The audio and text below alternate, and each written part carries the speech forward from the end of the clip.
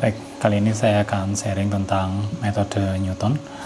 Uh, ini adalah salah satu metode untuk mencari akar juga yang di pemrograman itu artinya mencari titik potong dengan sumbu X dari sebuah fungsi.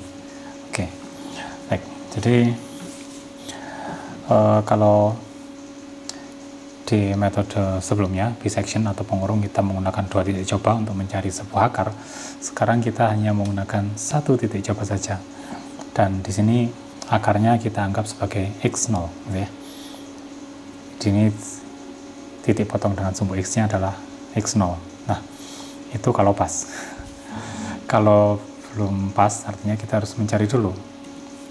Uh, misalkan kita punya sebuah fungsi fx seperti ini, Kemudian kita ambil saja sebarang titik, kita sebut sebagai x0 di sana.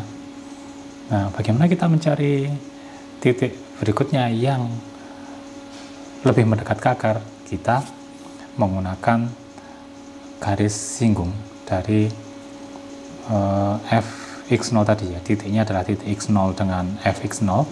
Kita tarik titik itu, kita tarik garis singgung di sana, lihat di mana garis singgung itu memotong sumbu X, di situlah terdapat X1, itu adalah uh, nilai coba berikutnya. Jika X1 ini belum belum merupakan akar, maka kita cari lagi. Syaratnya seperti kemarin ya.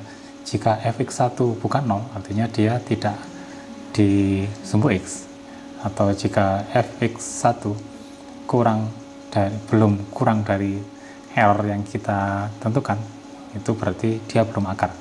Jika belum akar seperti ini, maka kita lanjutkan pencariannya dengan cara yang sama. Cari fx1-nya, kemudian tarik garis singgungnya dari sana, lihat dia motong sumbu x di mana, jadikan dia x2. Kemudian, ini belum akar juga, cari lagi fx2-nya di mana, di sana ternyata beri garis singgung di sana, cari oke dia memotong garis singgungnya memotong di sana ternyata. Di X3 ini ya dan ternyata dia adalah akar atau mendekati akar ya. Oke baik. Secara teori seperti itu. Bagaimana prakteknya kalau menggunakan pemrograman? Kalau menggunakan pemrograman seperti Python mungkin kita akan kesulitan jika kita harus mengakomodasi X0, X1, X2, X3 maka kita uh, hanya perlu menggunakan X0 di sana yang seperti biasa kita tarik garis seperti tadi. Cari fx0 nya tarik garis singgung. Eh, cari titik potong sumbu x nya di mana jadikan dia x1 nah langkah berikutnya kalau dia belum akar maka jadikan x1 ini x0 sehingga ada loopnya ya loopnya di sana nanti. X0 cari fx0 nya yang baru ini. Kemudian tarik garis singgungnya untuk mencari titik potong dengan sumbu X dan jadikan dia X1 lagi. Nah, jika dia belum akar, jadikan X1 ini X0 lagi. Seperti itu dan seterusnya. Jadi kita akan punya fx0, kemudian tarik garis singgung kita akan punya fx1. Jika ternyata dia akar, maka ya dialah x0 itu. Jadikan x0 lagi, cek apakah x0 ini ternyata sudah akar apa belum. Kalau sudah akar, selesai. Baik. Nah, permasalahannya bagaimana menggambar garis singgungnya atau bagaimana mencari X1 dari X0 ya.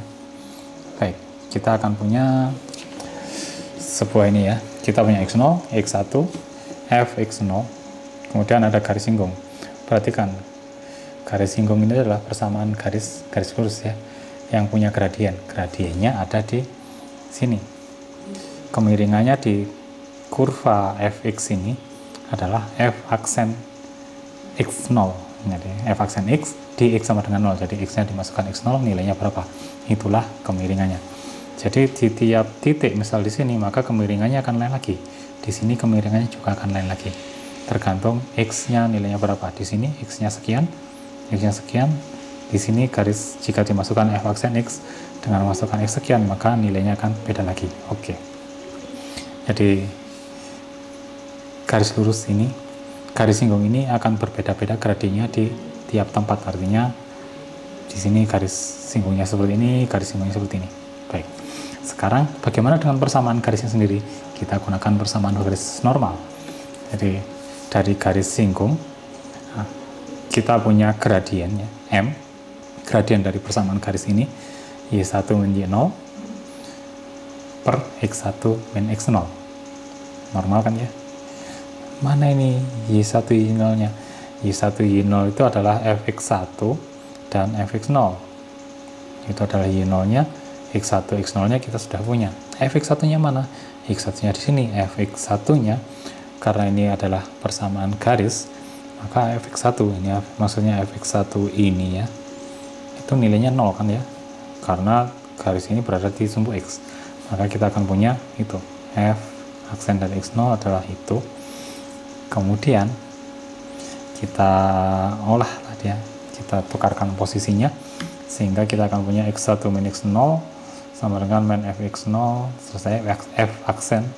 F aksen ini adalah f aksen dari fx ini. Kemudian kita masukkan nilai x0 nya jadi ini nanti adalah sebuah nilai.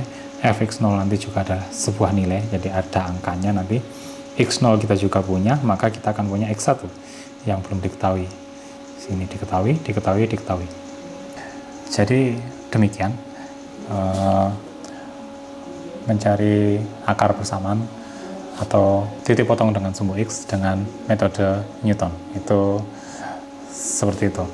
Dengan hanya satu titik coba X0 kita dapat mencari nilai coba berikutnya X1 dengan rumus seperti ini. Dan itu akan tetap di loop sampai kita mendapatkan akarnya. Oke.